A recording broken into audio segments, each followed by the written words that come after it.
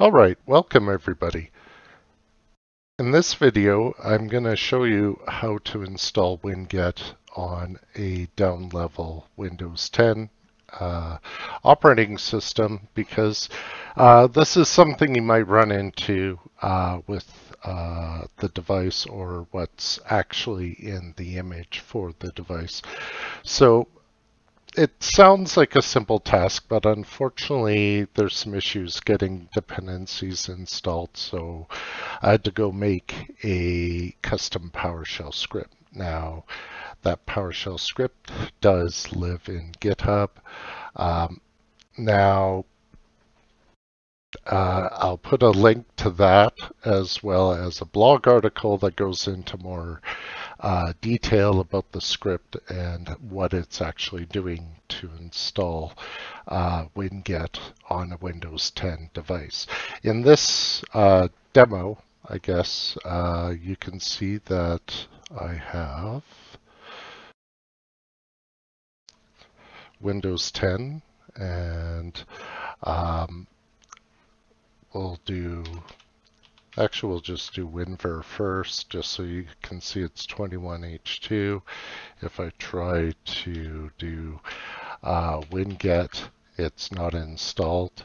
And, you know, if you really want to prove it, I can go back and say uh, the device is fully patched, and yet I still do not have WinGet. So, how do we fix this? One of the ways is to use a script to negotiate all uh, the dependencies. An easier way would be to open your store and connect in and it'll install it in the background. But I mean, if you're trying to deploy it across an organization, you might want to look at uh, the script to go and basically uh, install Winget on a client. Now, set this all up, uh, what I've done is I've clicked the install winget ps1 file and it shows me what that code looks like.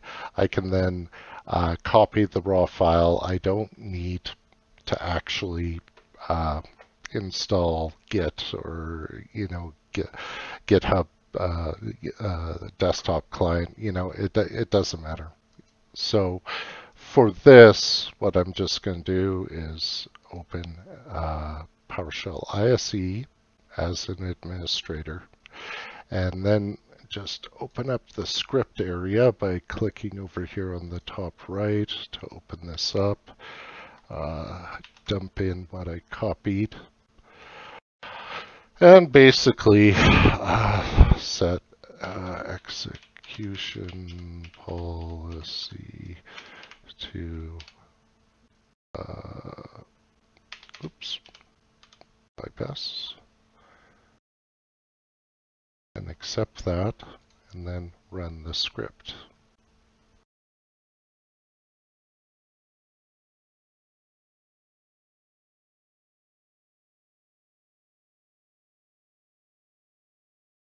Now the script does write out a installation log file that you can have a look at.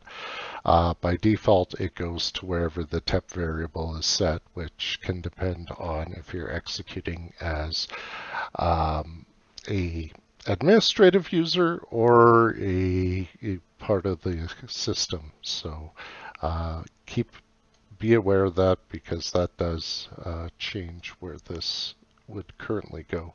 Though you can always modify the, the log file to actually um, put out what you uh, want for a location. Oops, I did that wrong. Here, let's grab that and just notepad. Uh, oops, I should probably put quotations and paste and then quotations. And then you can see here gives some diagnostic information as to who ran it and what version of PowerShell, which I don't know if is a big deal, but it does give you an output of the installation. So if you're not running it interactively, you get some idea of what's going on under the hood. Um, So basically at this point I have winget installed and I can go uh, to my command prompt and launch winget, right? And it's registered with the system. Now, uh, it's basically, it can run without elevation, though I recommend it because most software, not all, but a lot of software needs elevation to install. So uh, for me here, let's just test it out by going winget install and uh, VS Code because I want to edit some code. So I have to agree to the source agreement, which is uh, the Microsoft repository it defaults to. You can turn that off, but I'm going to let it do that. And basically it's going to download winget from there and install it according to uh, the package manifest. So a package manifest is just a YAML file that'll basically uh, define some of the installation properties that is used uh, with uh, winget. So once we have all that, the application's installed and if I want to test it out I can go down here and you can see VS Code was recently added and I can continue on on my journey. So hopefully this gives you an idea of how to get winget on some of your Windows 10 machines that might not have it. Uh, developers may appreciate this way of getting uh, de dependencies or applications onto their devices, depending on what's in the Microsoft repository. Of course, you can go through some more effort and build your own private repositories, but till another time, we'll leave it at this. I hope you enjoyed it. Thanks for coming out.